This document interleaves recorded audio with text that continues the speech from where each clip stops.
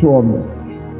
Baba, katika jina la Yesu Kristo, asubuhi ya leo tena tunaomba useme nasi, ulitume neno lako Bwana, kama ulivyomsaidia Bwana yule diwani wakati ulisema nenda, mtoto wako ni mzima, kama ulivyomsaidia yule akida aliyesema Bwana, sema neno, mtumishi wangu atapona, kama ulivyotuambia katika Zaburi ya mia moja na saba na mstari wa ishirini kwamba watu wanapokulilia katika tabu na dhiki na maumivu, wewe unawatumia neno lako.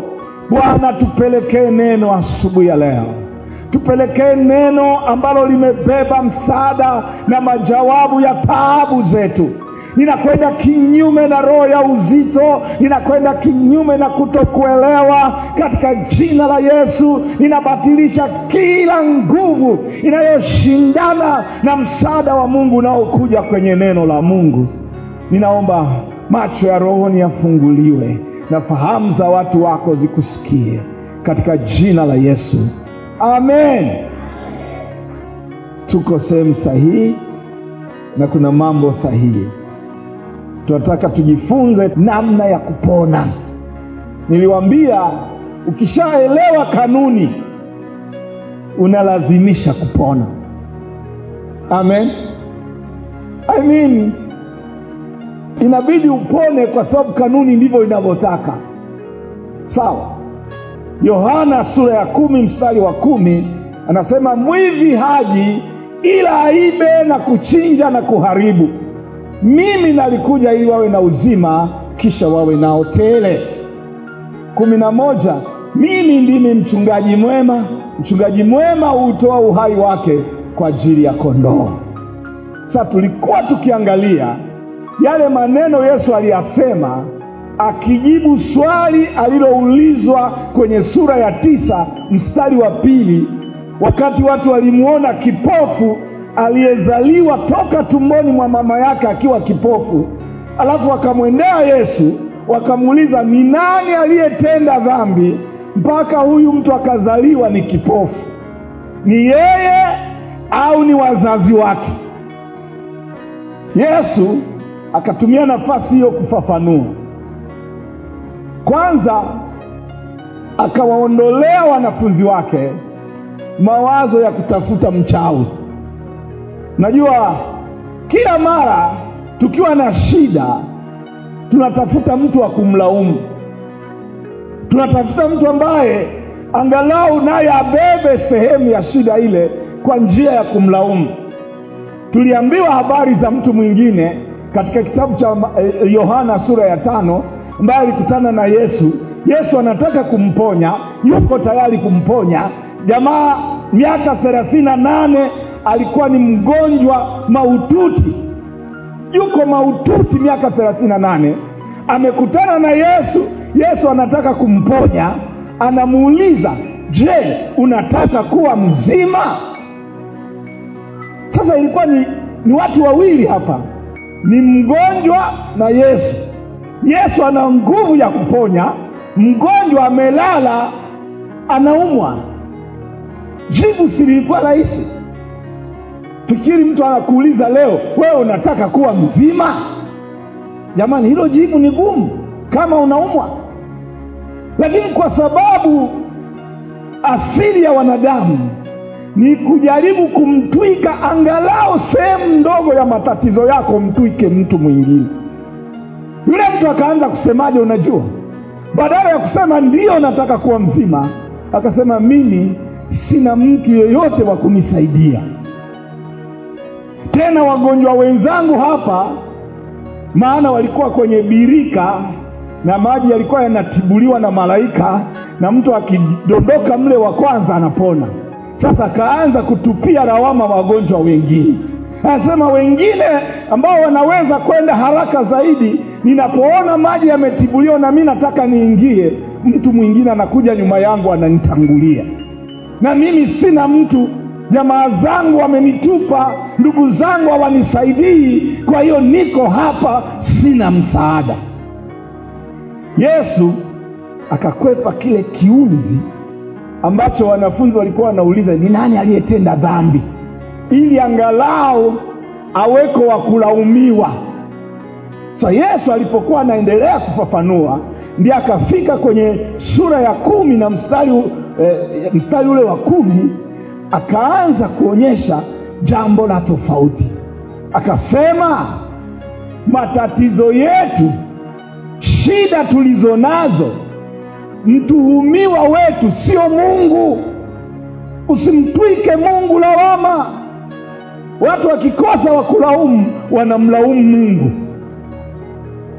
Wengine wanatafuta, analaumu mume, analaumu nani, ndugu wa ukoo kwamba hawaji kuniangalia. Huu ni mwezi wa pili nimelala hapa, sioni hata simu, sioni hata message, hawanikumbuki, mchungaji wangu hakunitembelea. Yaani wewe una shida, unajiongezea tena shida zingine.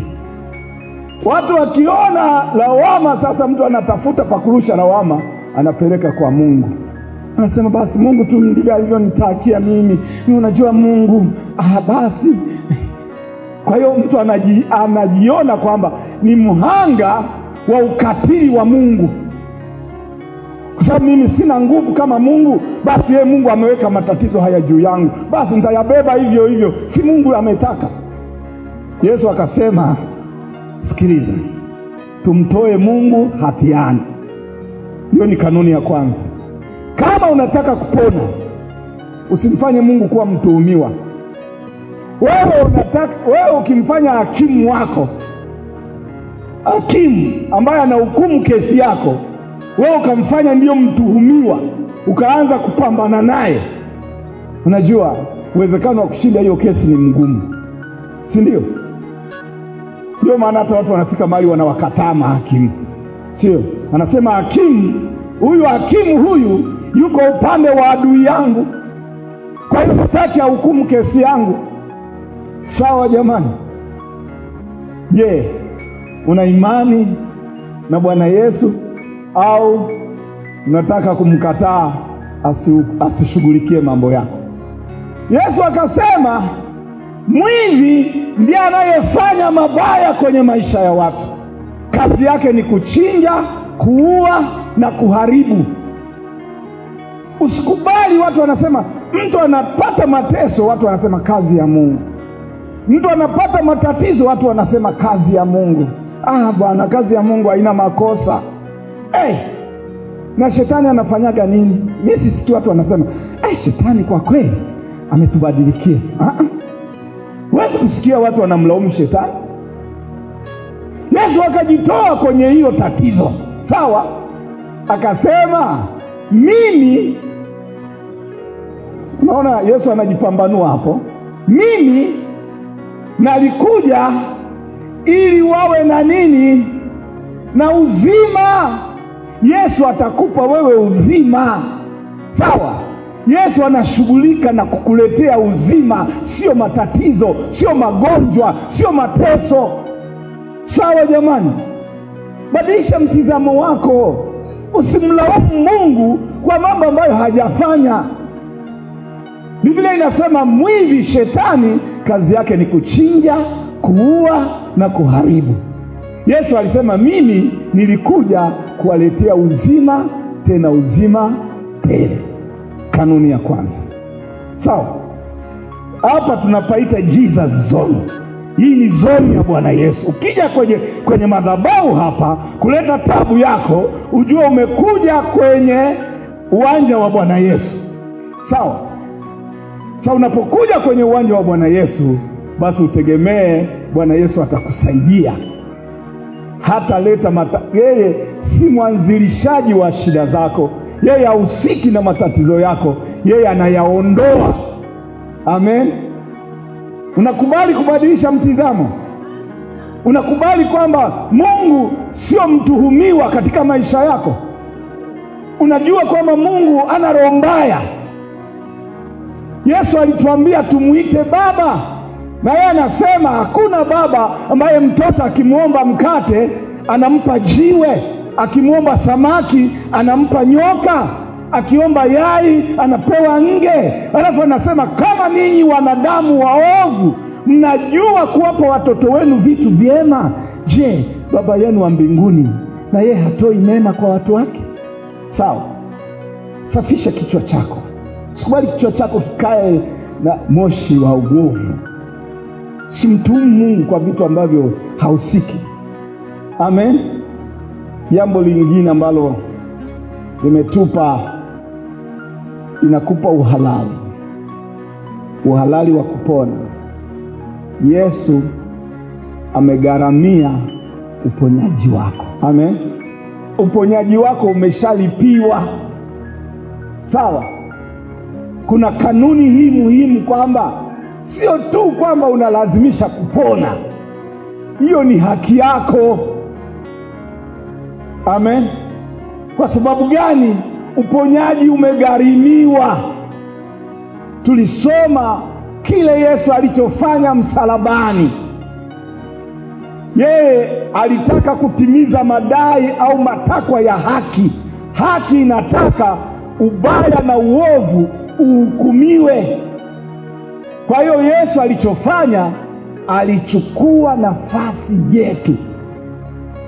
Amen. Alichukua nafasi yetu, akakubali achukue shida zetu kwa niaba yetu, akateseka msalabani kwa niaba yetu.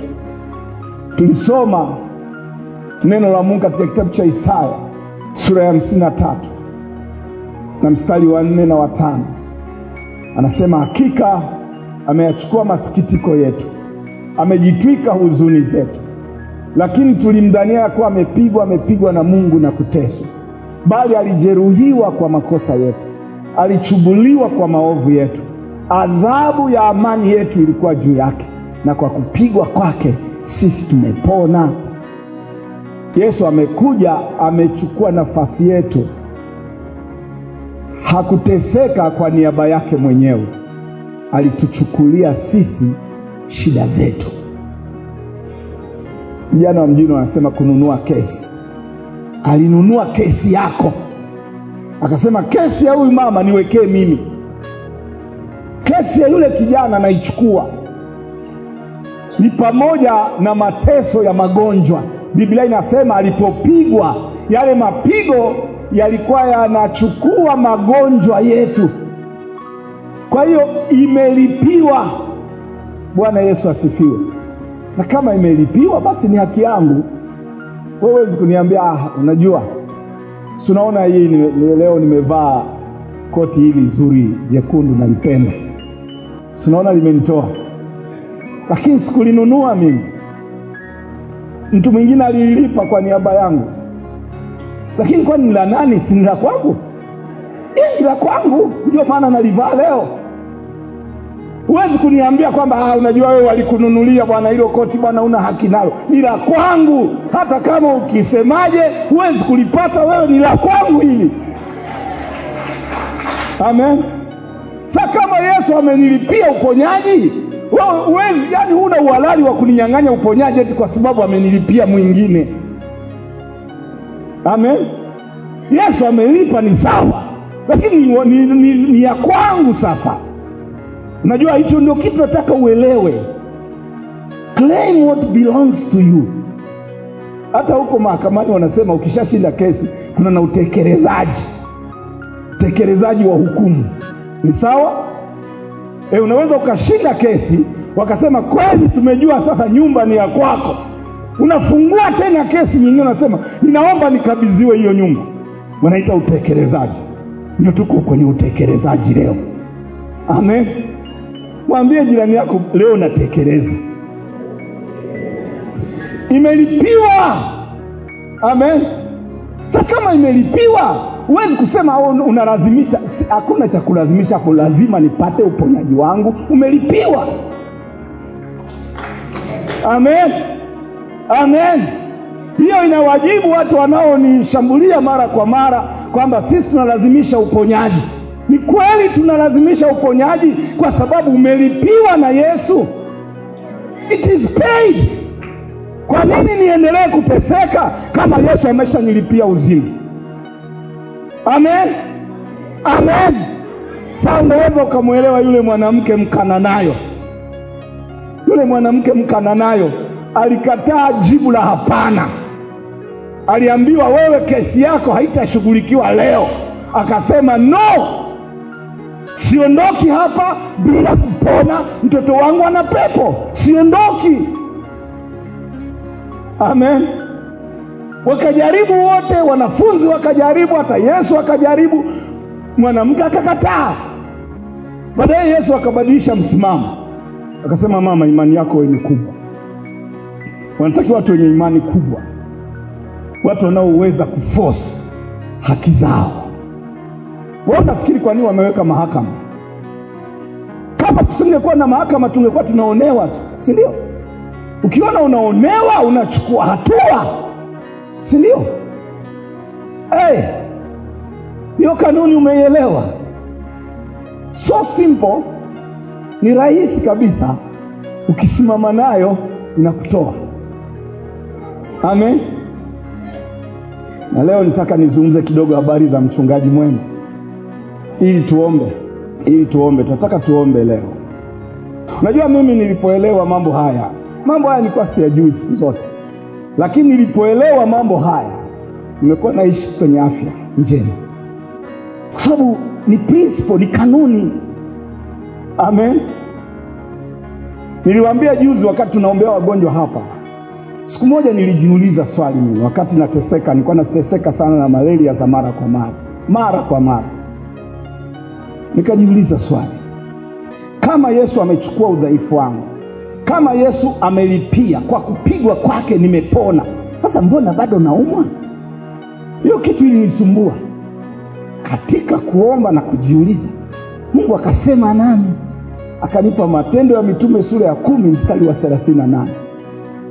Habari za Yesu Kristo wa Nazareti, jinsi Mungu alivyomtia mafuta kwa Roho Mtakatifu na kwa uweza, naye akazunguka huko na kule akitenda kazi njema na kuwaponya wote wote walioonewa na Ibilisi. Roho Mtakatifu akaniambia, angalia, Yesu aliponya watu wa namna gani? Walioonewa. Aha, ikaja kwenye akili yangu, kumbe mtu unaweza ukaendelea kuumwa, lakini ni uonevu tu, umeonewa tu. Jua shetani hana ustaarabu. Shetani sio mstaarabu, yeye atakuonea tu, na kama huwezi kusimamia haki zako, mwonezi atakunyang'anya. Sawa, lakini nikajua kama ninaonewa, then lazima nisimame, nisimamie haki zangu. Lazima haki zangu nizidai, lazima haki zangu nizilinde. Bwana Yesu asifiwe. Huo ndio mwanzo wa kwanza kujifunza kanuni za uponyaji. Niligundua kwamba kumbe unaweza ukaonewa, na kuna watu wanaonewa hapa. Ukionewa maana yake sio halali, si ndio? Lakini nafikiri shetani anaogopa kwamba, unajua, nitaonekana kwamba nimemwonea nime mtu. Yeye ni jambazi. Jambazi akitaka kuibia anaomba ruhusa kwamba naomba nichukue hii pochi yako, tena kuna simu. Yaani huyo ni jambazi kweli? Jambazi hawezi kuomba ruhusa. Shetani ni jambazi, tumeshaambiwa ni jangili, hawezi kuomba ruhusa. Kwa hiyo wewe ndio udhibiti uonevu wake. Amen, amen. Na namna ya kudhibiti uonevu wa shetani ni kurudi kwenye Petro wa kwanza mbili ishirini na nane ukasema, ugonjwa huu hauna haki ya kukaa kwenye mwili wangu kwa sababu Yesu alikwisha lipa gharama. Kwa kupigwa kwake mimi nilipona. Kama nilipona, basi nime, nimepona. Amen. Ah, najua kuna watu wengine kwenye Biblia wanakufurahisha, waliamua, yaani mtu anaamua kupona kama yule mama alikuwa anatoka na damu miaka kumi na miwili yuko kwenye kitabu cha Marko sura ya tano. Miaka kumi na miwili anatoka damu, alafu aliposikia habari za Yesu kwamba Yesu amemlipia gharama, akasema kama ndio hivyo, leo mi naamua napona. Akaanza kusema akiwa nyumbani, hajaenda kwenye mkutano wa Yesu, lakini akajua ile kanuni. Akasema kama ndiyo hivyo, leo mimi napona, nitaenda tagusa pindo la vazi na napona. Akafanya maamuzi ya kupona peke yake nyumbani, na akaenda. Vikwazo vilikuwa vingi, lakini akavivuka vyote mpaka akafika kwa Yesu na akagusa kweli pindo la vazi, na alipogusa pindo la vazi akasema tayari nimepona. Yeye ndiye akajiamlia, akasema nimepona, akaamua kwenda nyumbani. Ndio Yesu anasema jamani, kuna mtu amenigusa, lakini hapa nani amenigusa? Maana hata Yesu hakujua na, nani amenigusa. Watu wakasema, watu wengi wanakugusa, akasema amna nguvu zimenitoka. Ndio yule mama anakuja anaeleza stori yake. Amen. Sawa, ngapi leo wanaamua kupona? Nataka niombe na watu hao. Baba, katika jina la Yesu Kristo, angalia mikono ya watu hawa ambao wamekuwa wanateseka, wamekuwa katika vifungo, wamekuwa katika taabu, wamekuwa wanaonewa, wengine hawalali, wengine wako katika maumivu, lakini Bwana Yesu, hawa ndio uliolipia gharama. Wewe ulipopigwa, maumivu ya viboko yaliyoingia kwenye mwili wako yalikusudia kuondoa maumivu kwenye miili ya watu hawa. Imelipiwa, uponyaji wao tayari umeugharamia, na leo wako hapa, wanataka kuchukua kilicho chao, wanataka kuchukua haki yao, wanataka kuchukua uzima na afya. Ninaomba neema yako na msaada wako juu ya kila mmoja asiweko mtu ambaye ameazimia kuchukua uponyaji ambaye itashindikana, kwa sababu uponyaji ni chakula cha watoto, uponyaji ni halali ya watu hawa. Nami kwa mamlaka ya jina la Yesu. Ninavunja vikwazo vya kila aina. Ambavyo vilikuwa vinasimama kati yao na uponyaji, nguvu za giza, miroho ya kishetani, upinzani wa kila aina, mafundisho mapotofu, namna zote za uharibifu wa nguvu za giza uliokuwa unaharibu uwezekano wa watu hawa kupona, ninauvunja katika jina la Yesu. Nafungulia uponyaji, nafungulia uzima, nafungulia ujasiri katika maisha ya watu hawa katika jina la Yesu Kristo, amen, amen. Hey, rudi haya maombi pamoja na mimi, sema: Mungu Baba, ninakushukuru kwa sababu umenikumbuka. Ninakushukuru kwa sababu umeshughulikia maisha yangu na kunitengenezea mlango wazi kwa ajili ya mafanikio. Ulimtuma mwanao Yesu Kristo kwenye nafasi yangu, hakika ameyachukua masikitiko yangu. Leo hii sikubali kuendelea kuyabeba. Hakika amechukua huzuni yangu, sitaendelea kwenye kifungo cha huzuni. Alichubuliwa kwa ajili ya makosa yangu, aliumizwa kwa dhambi zangu. Ninakataa kuendelea kuwa chombo cha shetani cha kubeba dhambi, cha kubeba udhaifu. Kwa jina la Yesu, sikubaliani na maisha ya dhambi. Minyororo yote ya dhambi ni uonevu, sio halali juu ya maisha yangu. Ninafanya uamuzi kuelekeza moyo wangu katika utakatifu wa Mungu, katika usafi wa Mungu, kwa jina la Yesu. Neno la Mungu limenihakikishia kwamba kwa kupigwa kwa Yesu, yale mapigo yaliniondolea magonjwa, yaliniondolea maumivu. Kwa hiyo leo hii sikubali tena kuonewa. Ewe shetani, huwezi kuendelea kunichezea, huwezi kuendelea kunikandamiza. Roho za magonjwa kwa jina la Yesu, ondoka kwangu, atia mwili wangu, huna ruhusa kuchezea mwili wangu, mimi sio mali yako. Kwa jina la Yesu ninatawaliwa na sheria mpya ya uzima wa Mungu. Uzima ni fungu langu. Kuanzia leo ninachagua kutembea katika uzima, kutembea katika afya njema. Ewe mwili, sikia, kwa jina la Yesu, huruhusiwi kuendelea kubeba ugonjwa. Kwa jina la Yesu, pokea uzima katika jina la Yesu. Ninafungua maisha yangu, ninapokea msamaha wa dhambi zangu. Sitaendelea katika maisha ya kujichanganya, sitaendelea katika maisha ya dhambi, maana Kristo amegharamia kwa maisha yake mwenyewe ili nipate utakatifu.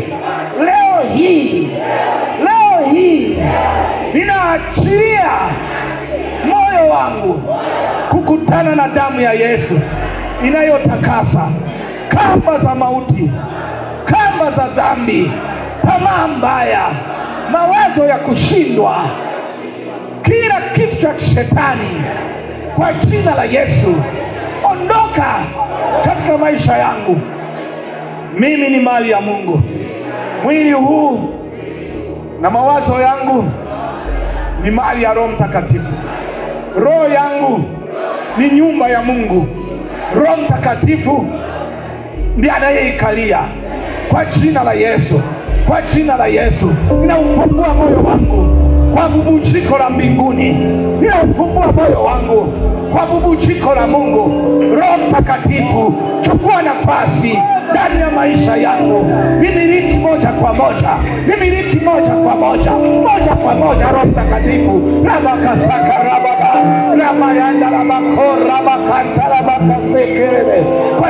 la Yesu Kristo wa Nazareti, kwa jina la Yesu Kristo wa Nazareti, rakasakaraba ramamba ya makasaka raba ramamba ya masika.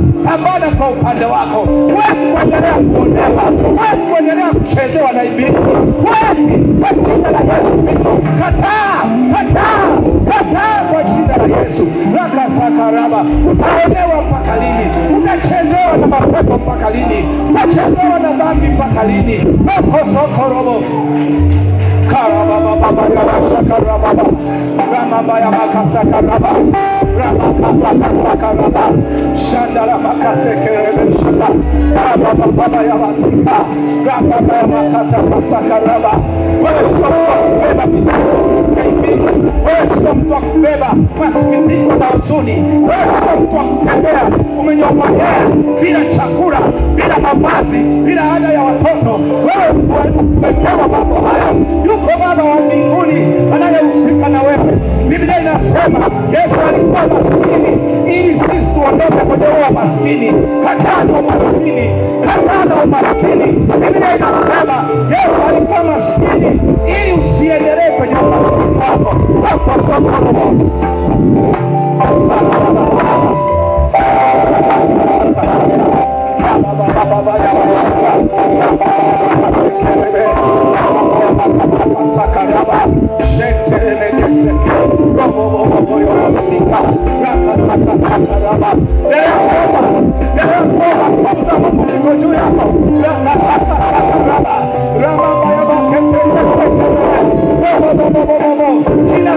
kwenye mitego ya inasua kwenye mitego ya kataa mitego ya kumtatiza kataa waliani rokosokorobo ramabababashaka